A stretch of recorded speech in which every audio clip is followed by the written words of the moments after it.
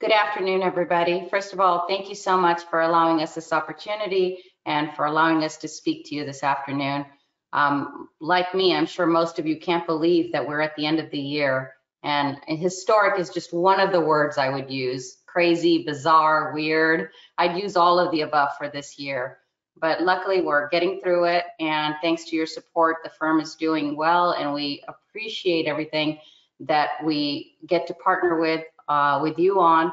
Um, the, the cases, the legislation, um, all of that is coming through fast and furious. And I know everybody's kind of hanging on, trying to figure out what's next.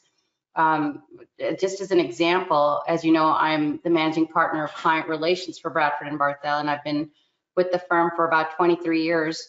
Usually we do about 25 or so um, trainings a year. This year, we managed to put in at least 40 COVID trainings alone, and that didn't include our regular trainings. So it has been a busy year for all of us, I'm sure, and I won't take up more of your time. With that, I'm going to pass it on to, um, I forgot Tammy, Zane? Don. Don's Don. gonna say hi first. Sorry, Don. I'm passing it on to you, Don. Oh, to me first. Okay, everybody. Um, no, I, actually, I have nothing to say. I'm not. I'm going to let it go straight to Zane, and, and then I'm going to take over and talk way, way too much. So let's let's swing on over to Zane right away. Good afternoon, everybody. Thank you for thank you for joining us. Thanks for being here for uh, this. We've got a lot of good information for you, a lot of good case law updates. But one thing that we did want to go ahead and put right out uh, first and foremost here are the new Cal OSHA regulations that have been put into effect uh, that deal with COVID-19. So these are some new regulations that were being considered by Cal OSHA. Um, while they were in that sort of consideration phase, they decided to go ahead and implement them, put them out immediately.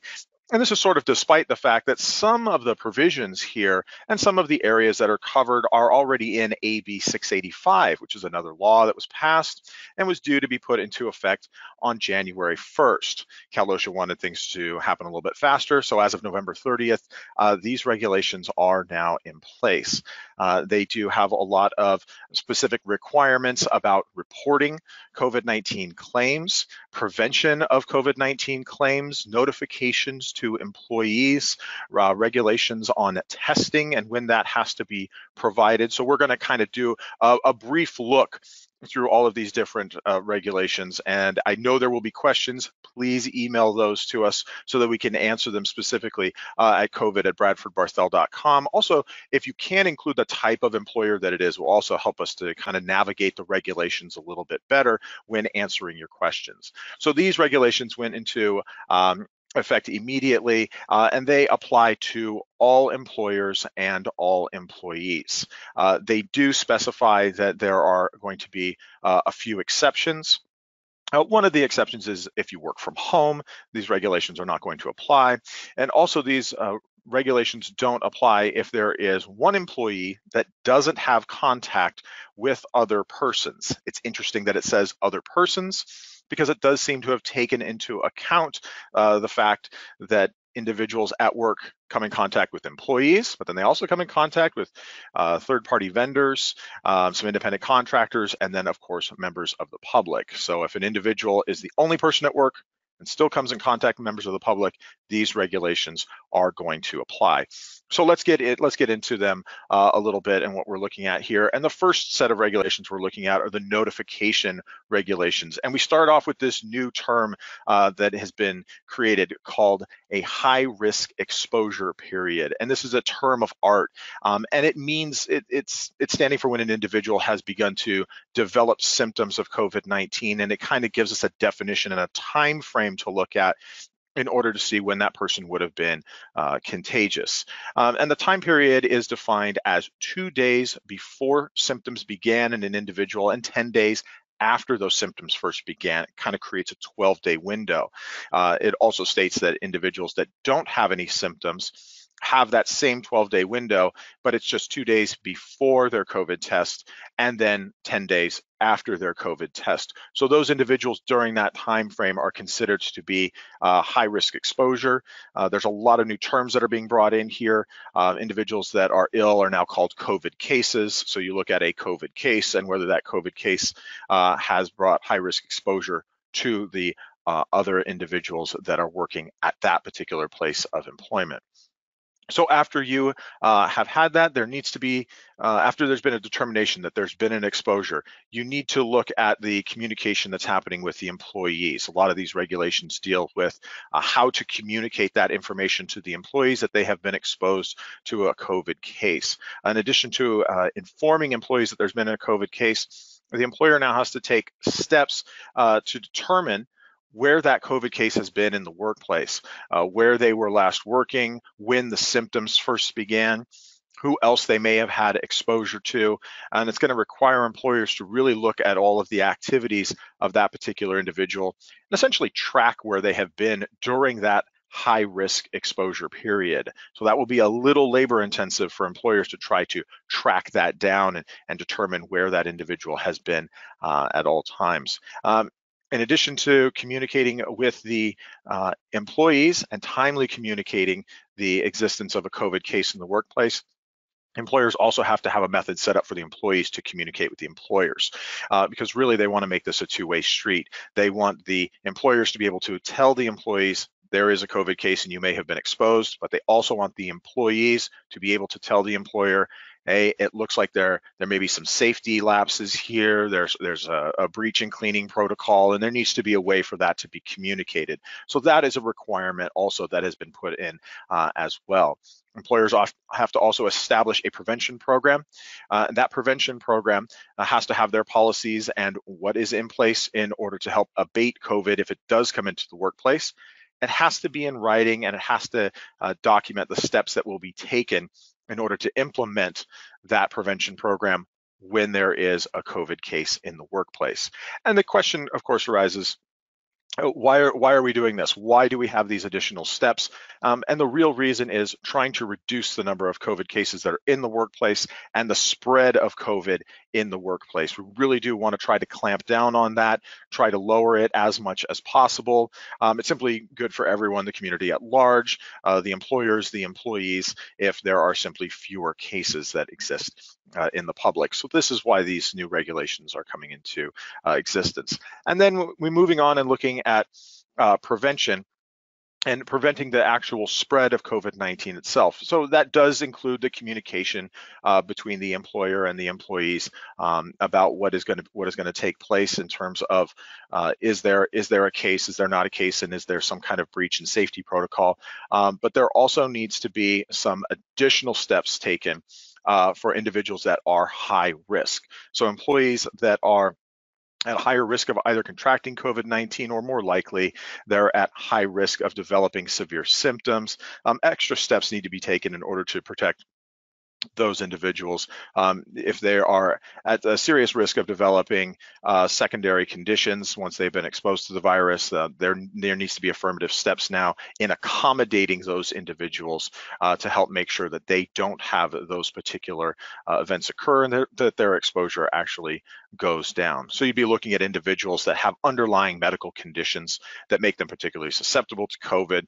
Uh, issues with weight, high blood pressure, and diabetes seem to be some of the main issues uh, that, that we see with those high risk cases.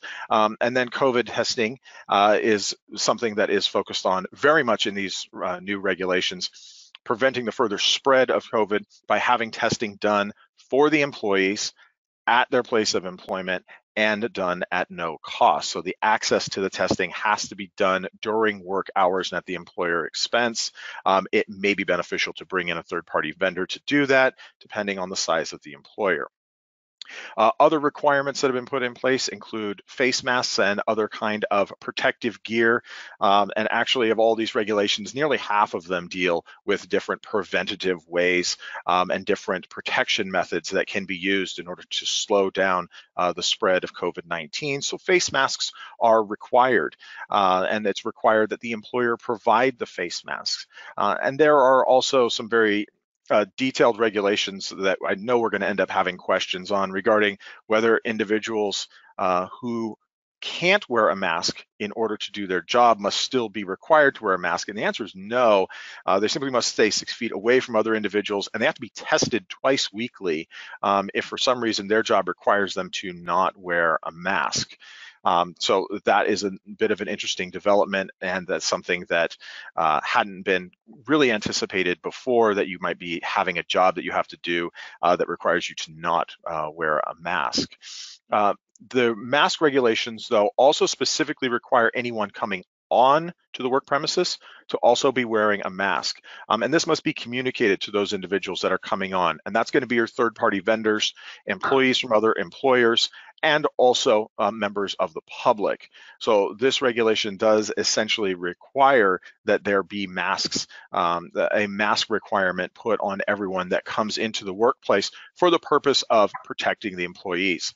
This was something we really uh, didn't see in the original legislation from SB 1159 related to COVID. There was really no consideration of the public uh, in any way in terms of how they would expose employees to COVID-19. And we thought that there might be some later legislation or regulations to address this. This does appear to be the first regulation to sort of address that large gap and that, that sort of hole that was in that uh, original legislation. Uh, so that is good to see.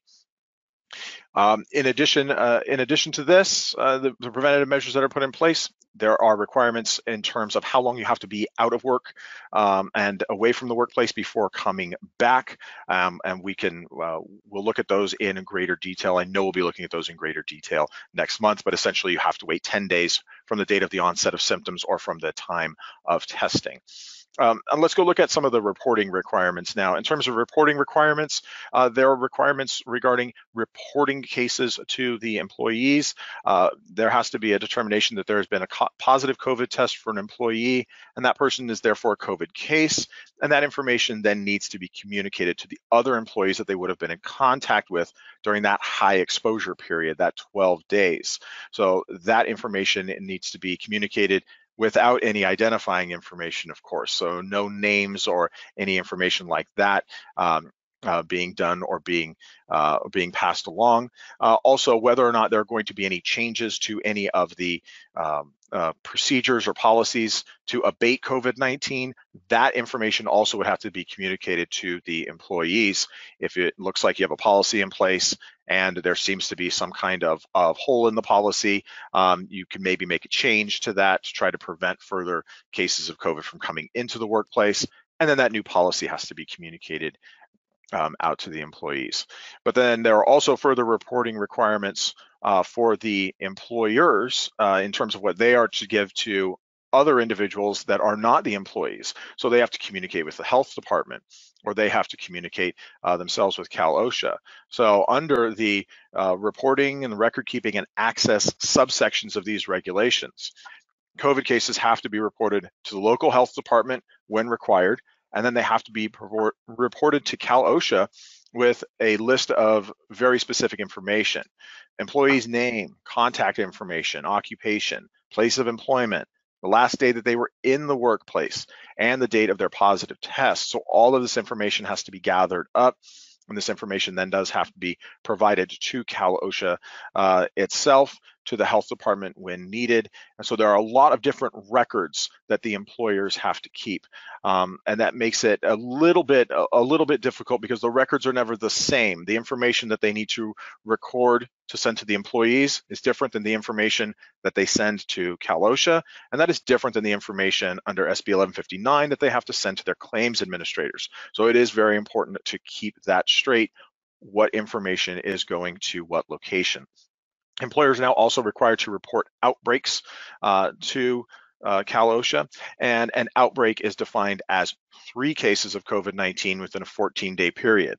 I'm sure by now we're all very aware that in workers' compensation, an outbreak is four cases within a 14-day period or 4% of the workforce, depending on the circumstances. Uh, so Cal OSHA has an even tighter um, restriction and kind of limitation and definition of what constitutes an outbreak. So when there is an outbreak, all the employees that were in that exposed area, they have to be informed, um, and then they have to be tested. They're tested right away and tested again seven days after their initial test. So those are some of the safety measures that have been brought in by this new regulation. Also, this section now defines what is known as a major outbreak, a major outbreak being defined as 20 or more cases at a particular place of employment within a 30 day time uh, period. So we've been looking at a 14 day time period for everything when it comes to COVID, and now we're going to be looking at a full month, a full 30 days. And if you've got 20 cases, it's considered a major outbreak. Uh, twice a week testing has to then be provided to the employees. Um, if the health department deems it necessary, that testing may have to be more frequent than simply twice a week there has to be a determination as to uh, how the outbreak occurred and whether or not the employer has to actually halt operations. So that is something that does actually have to be considered by the employer, and the employer is going to need to uh, have some kind of policy in place to determine is this a particular situation where I would have to shut down? Um, is this something where I need to close down part of the business, or how do I deal with this major outbreak? But there is that important distinction between an outbreak and a major outbreak in terms of how the employer needs to react and in terms of the testing that needs to then be provided. And since we're talking about testing, let's just go to uh, testing really quick and look at it. Uh, it has to be offered to the employees at no cost when there is that high risk exposure has to be done during work hours. Uh, during an outbreak, employees will retest, as I said before, seven days after their initial tests. Positive tests do have to be documented because they're going to have to be reported not only to the employees, but they're going to have to be reported to also to outside agencies. Uh, COVID cases, um, and it seems like this would go without saying, uh, but Cal OSHA said it, so I'll say it. They have to be excluded from the workplace, um, which would which would seem self-obvious. But if someone does test positive, they cannot be in the workplace. Um, there also then needs to be after that further investigation into the risks associated with the workplace and whether there needs to be any kind of update in the safety procedures uh, regarding reducing the risk of exposure to COVID-19. So the testing testing is very different depending on the type of outbreak that you have, um, and testing will be uh, different depending upon whether or not there even is an outbreak or there is just some exposure. So those regulations have to be looked at closely. Um, but we go to the next slide, what are we gonna see? We're gonna see some contradictions. We have some contradictions in these regulations. And of course, uh, they're well-intentioned and at these times things are very complex and regulations of this nature generally create some kind of contradiction with other laws or within uh, laws themselves. And this is really the first time that we're asking employers uh, to track a communicable disease through the employee pool in a way that's really kind of never been done before. Um, so there are different reporting requirements, as I uh, said before, under these first three regulations that you will see there, uh, dealing with what information an employer collects and stores and who they give it to. And it's very important that information that is collected for OSHA not be given out to the other employees or information that is uh, collected also for your workers' compensation claims administrator is not given to other employees or is not given to OSHA. So there, those those sections are in conflict with each other in terms of what information is gathered, because at times it says don't gather an individual's name, and other times you're required to gather an individual's name. So we have to be very careful there, especially with respect to who it is actually transmitted uh, to. Uh, the CDC also states that individuals can uh, return to work after seven days if they have a negative test. These regulations uh, do state something different because they require 10 days for an individual to return. They can be discharged by their doctor, but also specifically, an individual cannot be required to have a negative test in order to return to work. Um, and that's specifically stated in the new regulations. So it's a specific amount of time. It's the abatement of symptoms, um, and it's releasing, uh, being released by a doctor uh, that deem you no longer to be a COVID case. So there is that determination. and It's not simply uh, testing negative. And then, of course, the difference in the outbreak requirements between workers' comp and now between OSHA, uh, since the OSHA requirement is stricter. Uh, this may actually end up uh, resulting in fewer workers' compensation outbreaks because if stricter uh, guidelines are put in place when an outbreak happens under Cal OSHA, and we see that there are different procedures put in place and there's more testing being done, uh, we may find fewer outbreaks in the workers' compensation world because of these stricter uh, Cal OSHA regulations, though. Um, but that is that is yet to be seen. So we will see how that goes. Um, and so finally, uh, what do we do now? What specifically do employers have to do going forward here with respect to these new regulations. Uh, they have to require screening for COVID symptoms. That can include temperature checks, asking questions regarding uh, possible COVID symptoms or exposure to COVID in the workplace. But once there is a COVID case, employers have an affirmative duty to determine the extent to which the workplace has been exposed. Uh, they have to increase the amount of testing that is available, possibly change their cleaning requirements, uh, determine whether or not there are any other COVID cases amongst other employees. They do have to establish specific policies to keep employees safe and reduce the spread of COVID in the workplace. And the policies are going to be different for every employer because what works for a grocery store and those requirements are going to be different than what works for a manufacturing facility. So this isn't going to be a blanket rule or blanket set of steps that will work for every different employer. It's going to have to be handcrafted um, a little bit, and there's going to have to be a, a, little bit a little bit more nuance put into it there. Um, but testing has to also be provided to exposed employees uh, as outlined and it might be testing every week or multiple tests done in a particular week. Um, we will be doing a full breakdown of these regulations, what they mean with wonderful things that you uh, will love, like citations uh, to exact code sections. Um, and we'll be doing that at a, at a future webinar. We would encourage you uh, to come back for that. But if you have questions regarding these new Cal OSHA regulations, how they intersect with the workers' compensation world, um, and what they mean, please feel free to email us at covid at bradfordbarthel.com. Be happy to get those questions answered for you. Um, and with that, I'm going to hand it off now to Don Barthel.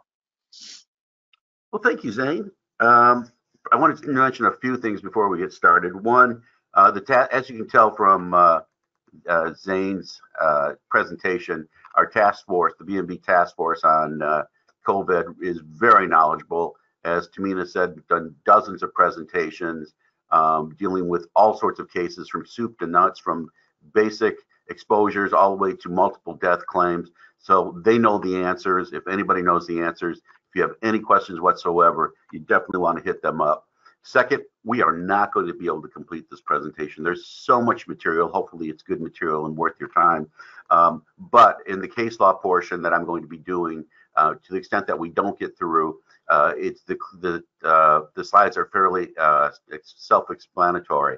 Uh, but if you have any questions about those, please email me, and obviously I'll set you up there. Now, I just said we don't have enough time to possibly get through, so of course I'm going to preface because if you know me, I have to preface everything with a joke. So there's a traffic jam and on the on the road, and it's not moving. It's nobody's moved for quite a while. And suddenly there's a knock on this guy's window and he looks out the window and there's this gentleman looking in at him. He says, have you heard the news? What, what, what news? Well, kidnappers have taken all of Congress and they're threatening that if we don't uh, pay them $10 million, they're going to uh, they're going to douse them with gasoline and light it up and, and, and kill them all. Oh my gosh, says the guy, the driver what are we doing and what are we what what's going on? What are we doing? What are we doing? The the guy outside says we're taking a collection. We're taking a collection to, to save the day. The the, the uh, driver says well wait a minute. What's what what's the average uh, donation? Oh about a gallon of gas. Okay. You, you got what you paid for. Let's talk about covid just a little bit more. Just some covid numbers so you know how what we're dealing with um, in workers' compensation at this point, COVID is uh, making up for about 11% of all of our claims and 42% of the death claims. That shouldn't come as a great surprise. So we want to be ready for that. Over the age of 65, or strike that, over the age of 55, old people like me, um, 60% of the deaths. Um, over half of the exposures deal with public safety or healthcare workers. So if you're dealing with those kind of folks, you can fully expect to see one or two at the very uh, such cases at the very least. Um, uh, the second uh, biggest exposure group are the food related jobs, the folks who are working at those now closed down restaurants and food manufacturers. Courier services, our Amazon folks, etc. Uh, there were uh, 2,000 uh, cases in October and November. That seems to be decreased, decreasing with the stay-at-home orders. So, um, you, beginning, remember the beginning of this year, before we were dealing with COVID, the the big question was uh, all about whether Uber, Lyft, DoorDash, and those fat folks were going to be considered employees or um, independent contractors. You may remember the uh, um, the ABC test, and Uber and Lyft and DoorDash and their elk said, we don't think that we are we have employees we want to save lots of money. So we want to we want to continue to treat the people who drive around for us as independent contractors. And there was some legislation that came down and said, no, no, no, no, no. All your drivers are employees. So Uber and Lyft and DoorDash proposed an alternative bill um, that would, in large part, turn their independent contractors or all their employees independent in uh, independent contractors. And they said, and if you uh, legislature in Sacramento don't like our bill, we're going to put it on the 2020 ballot. And you may recall voting on this if you uh, looked at the propositions on there. They and they actually um, uh, contributed 90 million dollars. Uber, Lyft, and DoorDash 30 million dollars each. Postmates $10 million and Maple Bear $10 million to fight the good fight and to prove to the good people of California that their drivers should be considered to be independent contractors. Now, Assemblywoman uh, G- uh, Gonzalez, who had actually sponsored the, the uh, um, legislation that had originally made these people uh, employees, had a response to this proposal. She said she didn't. She was not exactly a wallflower. Uh, she said billionaires who say they can't pay minimum wages to their workers, in short, uh, and have to treat them as employees. Uh, say they will spend mil- tens of millions of dollars to avoid the labor law. Just pay your damn workers. So you can see that each side had gotten their back up against the wall and they were ready for a big fight. So why in the world was there such a big fight here? Why did the big girls and boys that Uber and Lyft say we're going to spend 110 million dollars to fight this issue? Well, it's all about the money, of course. Whenever they say it's not about the money, it's all about the money. Um, the, the, the experts in the industry said that they're going to save about 30% of their labor costs by treating their alleged employees as independent contractors. And that's a that's a lot of rides. That's a lot of food delivery. So Proposition 22, if, if you uh, were following the news, uh, passed this past November, uh, just this last month, and it determined that indeed that uh, all app-based drivers were going to be treated as independent contractors. It overrides a AB5 um, as it applied to app-based drivers only. So all those other folks that AB5, the ABC test, uh, turned into employees, that still applies to them. So what's an app-based driver? It's somebody who provides delivery services on an on-demand basis through the employee's online enabled application or platform. Sounds like Uber, sounds like Lyft. Or they use a personal vehicle, yep. Prearranged transportation, yep. Online enabled application, yep. Again, Uber, Lyft, um, Uber Eats, etc. Two, Uber, Lyft, DoorDash, Instacart, and Postmates, etc., etc., etc. Actually, I don't know if it's et cetera, et cetera, et cetera, because those are the only folks I've, I think there's one other one I've used. By the way, speaking of which, I back in the pre-COVID days, I was using a Lyft. That was my uh, transportation of choice, uh, two, three, four, five times a, a week. And I took a very unscientific poll of the drivers and said, would you rather be an employee or an independent contractor? And much to my surprise, the vast majority said they wanted to be independent contractors so they could maintain their um, their uh, maintain their schedules or um, have their own independent make their own independent schedules. Um, they weren't less worried about the protections that employees um, are entitled to under California and federal law. So I suggested earlier, it wasn't a fair fight. Um, in total, the yes propos- uh, proposition actually ended up receiving 202 million dollars to fight the fight. Um, the no uh, folks received 19 million dollars to fight the fight. So um, a 10 ti- a, a multiple of 10. It was it was pretty much a, a, a given who was going to win this argument. What else did Prop do? Well, Prop 22 do? Well, they classified drivers as app-based transportation drivers and delivery companies as independent contractors unless unless the company set the driver's hours. Well, Uber and Lyft don't do that. Required the acceptance of a specific job or uh, ride. Um, obviously, Uber or Lyft don't Uber and Lyft don't do that. Restricts uh, the uh, uh, independent contractor from working from other companies. Uh, you may see if you if you utilize these companies um, on a if you take an Uber, you often find that they also have a Lyft sign on their dash as well. And uh, workers are not covered by various state employment laws. What else did it do? Um, actually, it entitled the, um, the the folks who work at the for the Uber, Lyfts, etc., um, are going to be treated as independent contractors, but independent contractor plus. In other words, they're going to be provided additional benefits um, that straight independent contractors are not necessarily receiving. Um, Uber, Lyft, and their ilk agreed to provide a minimum earning level, some healthcare subsidies, vehicle insurance. Um, uh, and it also criminalized the impersonation of drivers, which is kind of important because there have been a lot of attacks giving Uber and Lyft a really bad name. All right. We've talked about AB5. We've talked about COVID a lot. Let's get to the case law. Wait a minute. We're going to stay with the COVID, but also getting to the case law. We had a fact pass pattern here. Uh, by the way, F means fact. I always forget to write out the full name fact, full, full word fact. If you see an F, it means fact. If you see an I, it means issue.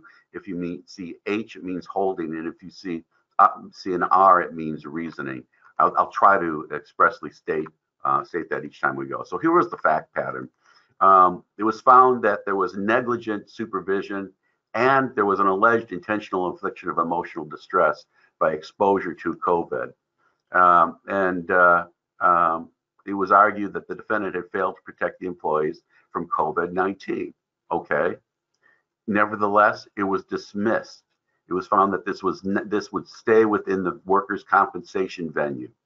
Um, you can't go to civil court over this, uh, which is a big for employers everywhere. They said although pandemics are uncommon, and let's face it, the last time the United States was impacted by a pandemic was 101 years ago. That doesn't mean the employer's response fell outside of the risk of the that's inherent in the employment relationship. Remember, it's the employment relationship that um, is covered by workers' compensation. That yes, the obligation to provide a safe and healthful workplace is inextricably part of the workers' compensation bargain. All right, here's a big number, and this is a whole lot of fun. And those of you on the defense, and I'm going to presume that most of you are on the defense, are going to love this case. I know I was just giggling through it. Here's the fact pattern. There was a $2.1 million lien file. When was it filed? Uh, more than 18 months after the service was provided. Oops, somebody had a really bad day when they realized what had happened. Um, now, despite that, the, the, record contains several pleadings in which the employer referred to the lien uh, filed by the labor for the uh, lien claimant. What the question was, is this barred? Is this $2.1 million lien barred by the statute of limitations? And the holding was, yes. Why? Well, there was no evidence, they said, that there was proof that the employer knew of the lien claimant's error. There was no laches, there was no unclean hands, there was no gotcha. Um, there was no evidence that the employer, in some way, shape, or form, through expressly or implicitly, waived its defenses or statute of limitations defense. There was no evidence that the employer engaged in conduct that was intentionally setting the lien claimant up to make them think, oh, we must have filed it. Um, there was no indication that the employer knew of the lien claimant's error or caused in some way um, to um, um, forego the filing of the lien, claimant's reliance. Uh, in short, the employer didn't do anything nasty or naughty, didn't have unclean hands. Therefore, 2.5, 2.1 million dollar lien just went away. All right, TD for terminated employees. Uh, let's go back to COVID. And the, the holding here, we'll just go straight to the whole, well, actually, let's go backwards. Here was the facts. The employer was accommodating the employee's temporary work restrictions, and they had done so for a month, and there was no problem. Uh, and then there was a problem. And then there was a problem. Everybody was sent home due to the COVID emergency order. And the question was, well, applicant has now gone home because of the COVID-19 order. They don't get temporary disability, do they? And the answer was, sadly, yes, they do. That the applicant is entitled to DD, TD um, when the employer is required to, by emergency order, to shut down um, COVID-19.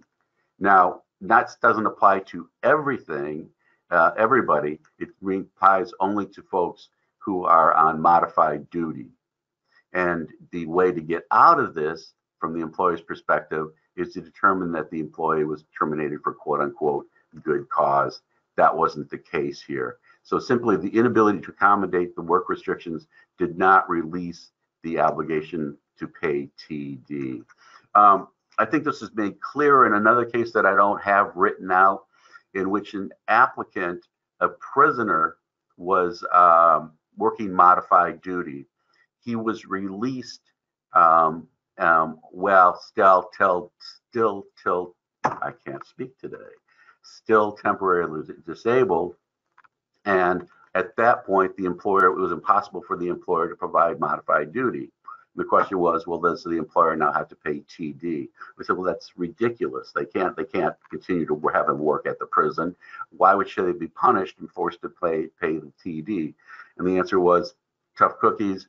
You continue to pay him TD because you're not because you're incapable of providing him the modified duty. All right, the Salazar case, the fact pattern. The applicant was offered modified duty. Speaking of which, they were unable to perform the work because they were undocumented. We've been facing these patterns since, well, since Kingdom Come. I started workers' compensation about a little over 30 years ago, and there was the very important Del Taco case uh, that dealt with voc rehab. There's an old, uh, old concept that dealt with exactly this particular type of uh, legal issue. And uh, so we've been dealing with this for at least 30 years, probably more. So going back to the case, the employee was offered modified duty, but they couldn't take those that job because they were undocumented. It was subsequently after the injury determined that they were an illegal worker. Um, and the question was, are they entitled to DTD? Now, given the case law we just went over, you might think the answer was correct, but it was found that no, absolutely not, not under this set of circumstances. They said um, because of the applicant's inability to work and wage loss is not due to the injury, they're not entitled to temporary disability. It turns out this is actually a constitutional law question. They said the employer would be deprived of equal protection under the law. That's a constitutional term. If they were required, to provide more exp- extensive benefits to an employee that's ineligible for employment than would be required to provide an eligible employee. Um, so um, when you're dealing with illegal workers, and that is determined. It's, it's funny how it's all their their legal status is always determined after their workers' compensation claim has been filed. Somewhat suspicious situation, but if you're dealing with that, uh, keep this case in mind. All right, the Roan case. Ah, there's Dr. Sigmund Freud. I've got this great Freud, uh, great uh, Freud joke, but I can't tell you because I'll get in trouble with human resources. Anyway, applicants counsel, fact pattern here, wanted to attend the psychi psychiatric examination. It was a medical legal examination with uh, his client. And we, the question was, the issue was, was he allowed to do that? And the answer, interestingly, was absolutely not. They said, we've got a CCR on directly on that point or indirectly that says that the applicant's counsel can attend any physical examination well, physical is not psyche. Psyche is not physical. They said absolutely not. And there's actually case law that says neither the applicant's attorney nor a court report is allowed to be present. So, what is an app poor poor applicant to do to protect themselves from a, psyche, a psychiatrist that they or a psychologist for that matter that they whose activities they think is suspect? Well, they bring a recorder, a tape recorder with them. Anybody who's old enough to re remember those tape recorders? I'm very interested in knowing how many of you remember a reel to reel. I actually, I just turned 58. I am old enough to barely remember reel to reels. For those of you who don't remember anything earlier than CDs, uh, don't talk to me. I think I hate you. All right, Alvarado, fact pattern. Um, this is the kind of stuff that actually took place 30 years ago, back when um, I remember my very first appearance 30 years ago was at the um, Santa Ana board. And there was a case that had been settled by way of C&R for $1,000 with those of you who have been doing this um, too long, remember a Thomas finding. And so I said $1,000 Thomas finding. That I, I was the one who was supposed to handle the liens. There were 18 lien claimants with liens totaling $100,000. And so a lot of snide things were often said about lien claimants back in the day. I don't think there are a lot of great things that are said now, but a lot of, but it, it got kind of nasty back back then. And so in this particular hour, but now it's 2020. Um, the uh, and by the way, all the cases we're dealing with today are from 2020. The judge stated that this lien claimant was quote the bottom of the barrel, and uh, actually the judge went on to discredit the billing before even taking a look at re, look at um, any of the uh, any of the available evidence.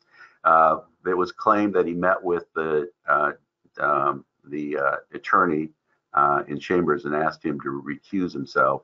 And the judge said, "I don't remember any of this." So the question question was, is he disqualified? Uh, that is, is the judge disqualified from this case? And the answer, the, or the holding was was was yes. The uh, allegations were uncontroverted, and ex parte communication is just always a naughty. You definitely want to that that one's that's the best way to get yourself in trouble, both in terms of um, uh, getting the judge kicked out and in terms of getting yourself sanctioned. They use a reasonable test, a reasonable person test. Now, I love the word reasonable. Um, in law school, they told me that a reasonable, quote unquote, reasonable test was a full employment policy for employers or for, for attorneys rather, because nobody in their right mind can agree to what is or reasonable is or no reasonable person can agree what reasonable is with with others. Anyway, the test is a reasonable person with knowledge of the facts could entertain doubts concerning the WCJ's impartiality. Well, given this bottom of the barrel comment, it would seem that the judge was not necessarily or could possibly be impartial. How are we doing? How we? I can't read that. 15 minutes. Oh, 15 minutes. Tammy just came in with a note that show, show me how much time we have left. She put it up, but she put it up backwards. Like she just got, got a black blank sheet of paper. My 58 year old eyes are bad, but I can't. Uh, real, but uh, I'm not going to worry the fact that I can't see through the paper. All right, credit credit for payment of benefits. Um, you had a bus driver here who had to take a service retirement because of their workers' compensation injury. Um, they were temporarily disabled, and they were also receiving pension pension payments. And the issue here was whether or not um, the employer could take credit against the pension payments. I think you could probably guess the result here. The answer was no.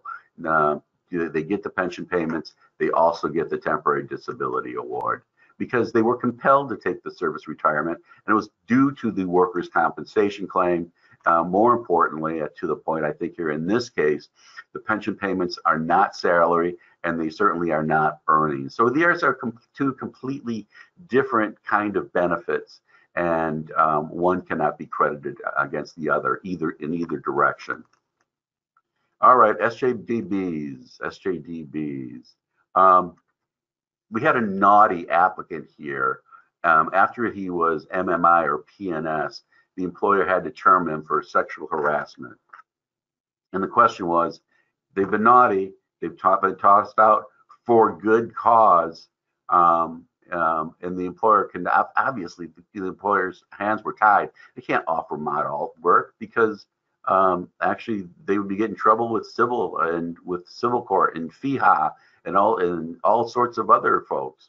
Um, the question was, so since they've been naughty, since they can't possibly legally be offered um, mod alt work, are they still entitled to an SJDB? And the answer was sadly yes. And the holding was, and I'll quote here, absent, modif- uh, absent a bona fide offer of regular modif- modified or alternative work, regardless of the employer's ability to make such an offer. And that's the secret phrase there. Regardless of the employer's ability to make a, make such an offer, and regardless of the employer's ability to accept such an offer, the employee is entitled to the voucher. Um, I guess the news is um, there is no there is no easy answer here. Unreasonable delays. Okay, this is a scary one and something that one that you want to keep in mind. Uh, you're going to face it once every year, once every two years, once every three years, but um, nevertheless, when it happens, you want to you want to take you want to remember the instructions coming from this case. Here's the fact pattern. Uh, the applicant was sent a settlement check for $51,000 and he said, I, I haven't received it.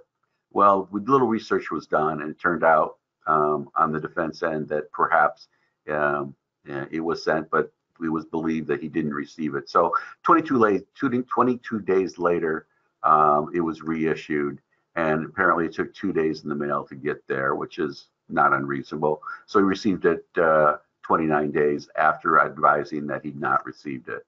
And the question was, uh, the employer, or the issue was, was the employer's response reasonable? There's that scary word again, reasonable. And was it reasonable?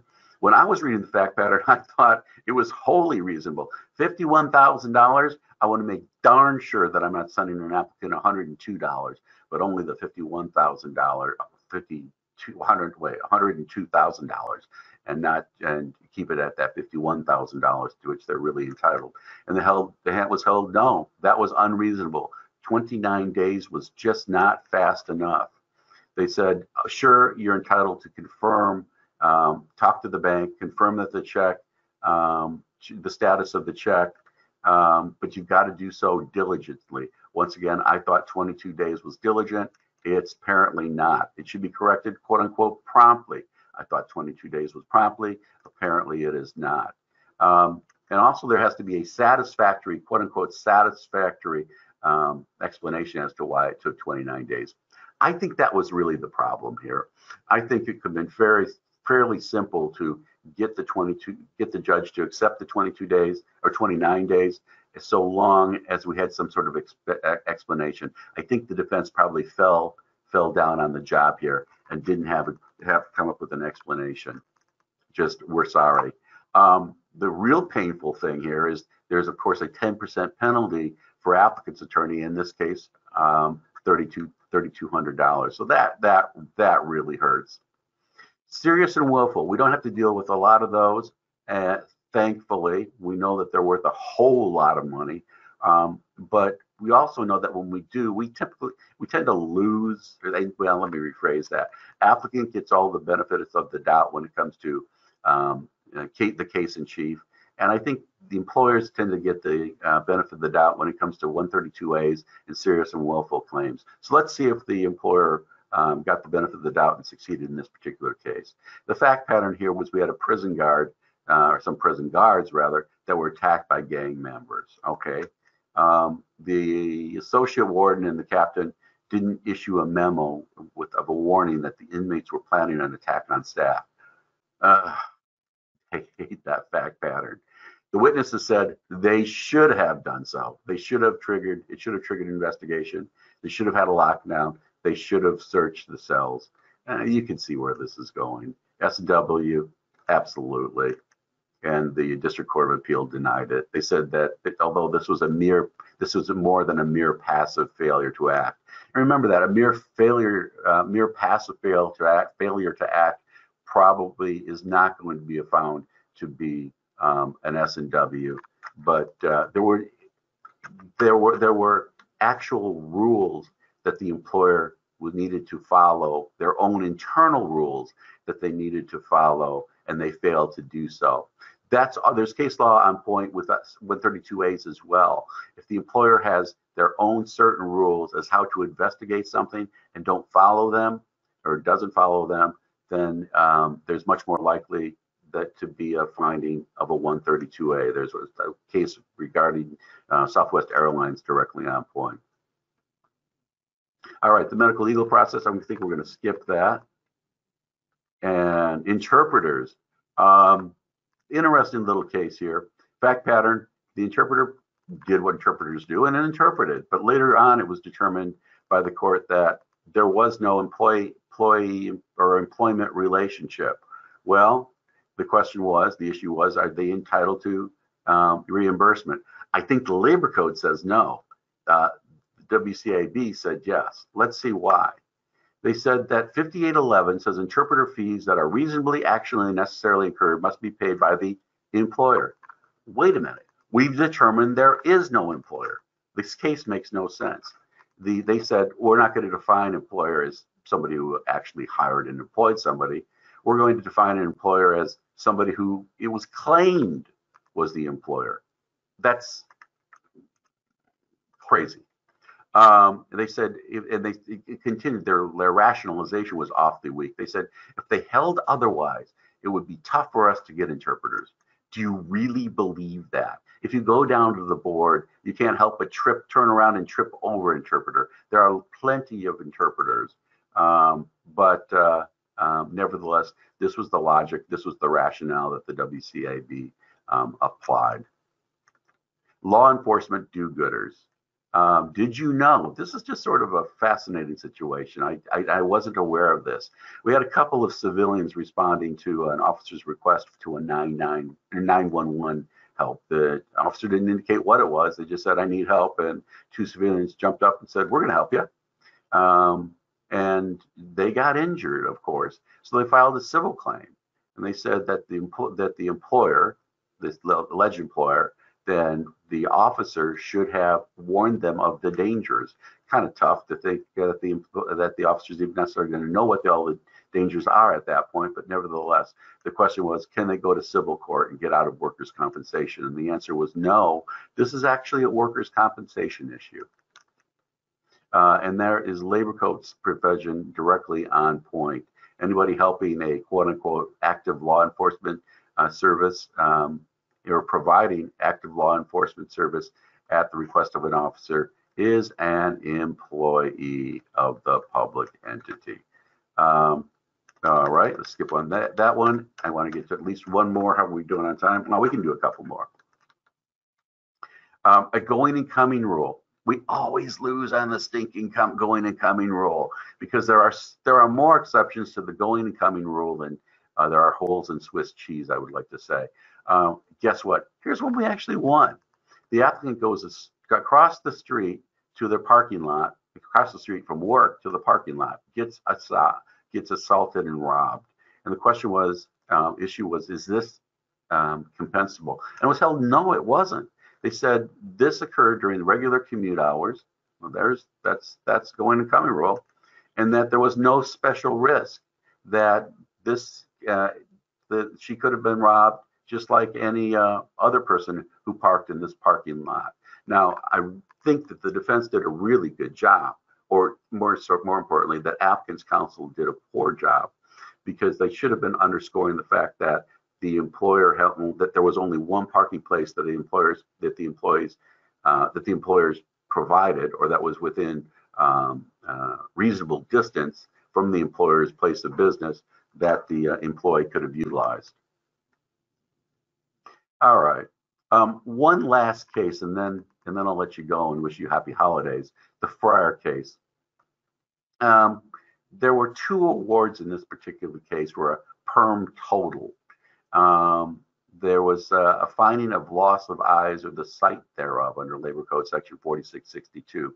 Remember, Labor Code Section 4662 says that you're going to be assumed, not presumed, you're presumptively, conclusively presumed in other words, you can't you can't rebut it. Defense, stop arguing. It's just going to happen. It doesn't matter what the permanent disability rating schedule says. It doesn't matter what the AMA guides say.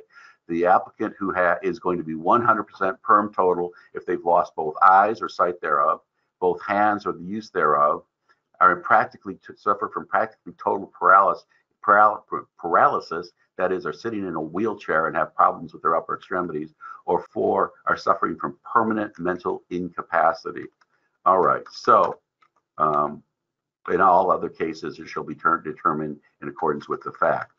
We've had lots of case law about that. So in this particular situation, um, we had this person who was blind, taught law, and as a result, they were well, even the AME said they were legally blind, uh, but it was the AME apportioned it out. Said uh, it was 30% as the result of two specifics and uh, 30% each specific, and 40% uh, non-AOE COE. And the question was, or the judge said, well, there can't be apportionment because they're legally um, uh, presumed 100% perm total and that's it can't be rebutted. So if you can only, if it can't be rebutted, if when you have when you've lost both eyes, when you're blind, um, there can't be apportionment, right? And there's case law. There was case law to support the doctor or the judges um, failing to provide apportionment. And, but the WCAB said no.